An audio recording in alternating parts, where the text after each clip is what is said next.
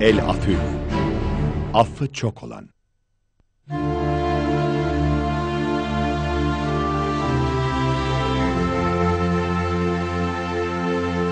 Bir hayrı açıklar ya da gizli tutarsanız veya bir kötülüğü bağışlarsanız şüphesiz Allah affedicidir, güç yetirendir.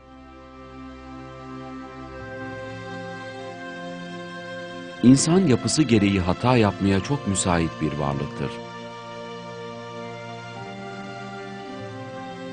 Her an pek çok konuda eksik düşünebilir, yanlış bir karar verebilir, hatalı bir tavır sergileyebilir.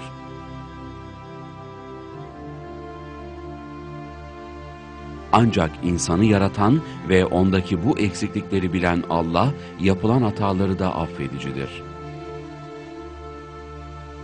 Allah'ın affediciliği olmasa hiçbir insanın cennete girmesi mümkün olmazdı. Fakat unutmamak gerekir ki Allah samimi kullarını affeder. Önemli olan kişinin samimi olup Allah'a karşı aczini bilerek tevbe etmesidir. Allah kendine içten yönelip dönen insanların günahlarını affeder ve onları bağışlar. Allah bu gerçeği Kur'an'da şu şekilde bildirmiştir.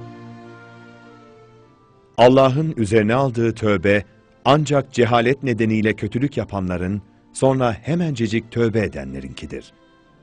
İşte Allah böylelerinin tövbelerini kabul eder.